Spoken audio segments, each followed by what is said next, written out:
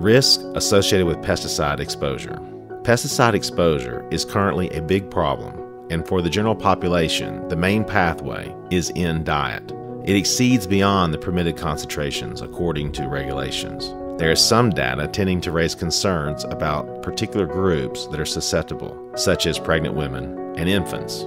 Animal studies have shown the ingestion of pesticides at concentrations considered safe has actually increased the percentage of apoptosis in embryos and decreased the number of live births. In a recent study at Harvard on 325 women, fruit and vegetable consumption, known to have increased concentrations of pesticides, was associated with a lower likelihood of developing a normal pregnancy.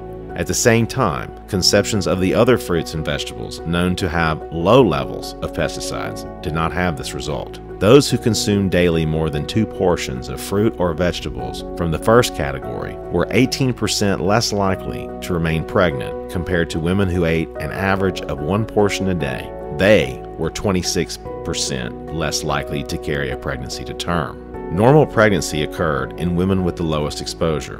Jorge Chavarro, associate professor of nutrition and epidemiology at Harvard and leading author of the study, said that women who want to get pregnant should limit consumption of fruits and vegetables with high concentrations of pesticides or opt for organic versions.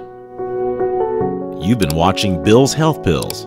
Please like and subscribe and leave us a comment. Let us know what you think. And if you have ideas for other topics, let us know.